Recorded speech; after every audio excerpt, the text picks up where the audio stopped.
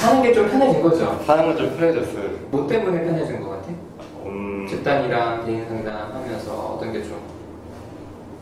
뭐, 저 제가 어떤 사람인지 계속 막 여러 생각을 했는데 그냥 다른 사람 얘기가 더 정확한 것 같아요. 그러니까 본인에 대해서 정확한 이해를 좀 하게 된것 같아요. 네.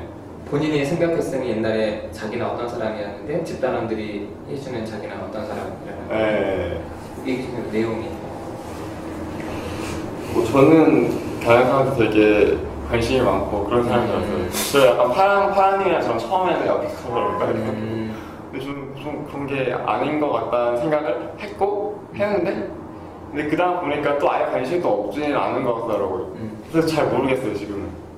그래서 그때 그때 그냥 마음에 따라 그냥 할까? 해 하고 싶다 그냥.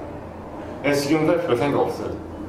그냥 마음 따라 살고 있다는 거야. 네, 부르려고 하는 것 같아요 그게 편하다는 거죠? 네. 그러니까 네. 내가 어떤 사람인지만 고민하지 않고 네.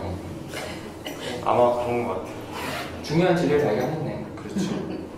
보고 싶은데 못 봐서 되게 아쉽고 또 계속 안 오는 것 같아서 진짜 단물만 빨아먹고 가는 건가 지금 아, 섭섭하기도 아, 하고 어? 아직 거 많이 남았지 좋아요. 훨씬 가벼워 보여.